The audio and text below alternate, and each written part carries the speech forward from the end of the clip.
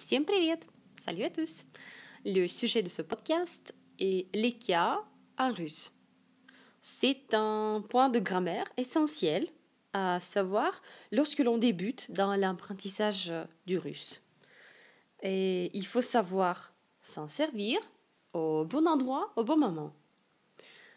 Tout d'abord, qu'est-ce que c'est que la déclinaison Et nous allons diviser la déclinaison et le cas. La déclinaison en russe склонение et le cas en russe падеж.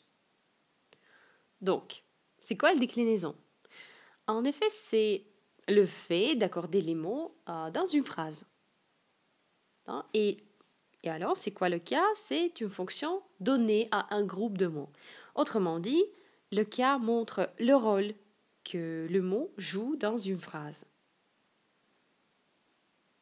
Vous pouvez demander, mais à quoi elle sert cette complexité hein, Pourquoi pas dire tous ces mots en nominatif comme en français Et en effet, vous avez raison. Je vous donne un exemple. Donc ici, vous voyez six phrases, je vous lis. Ce n'est pas correct, mais je vous lis quand même. Donc, это мой лучший друг. У меня нет мой лучший друг. Я дарю это мой лучший друг. Я люблю мой лучший друг. Я горжусь мой лучший друг. Я говорю о мой лучший друг.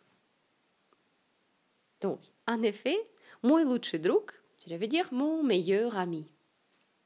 Et donc, avant, mon meilleur ami, vous voyez de différentes construction qui, en effet, en russe, donc, vous oblige de décliner. Mais en effet, comme une russe, je, je vous comprendrai parfaitement si vous dites comme ça, donc sans déclinaison. Je le comprends juste au contexte.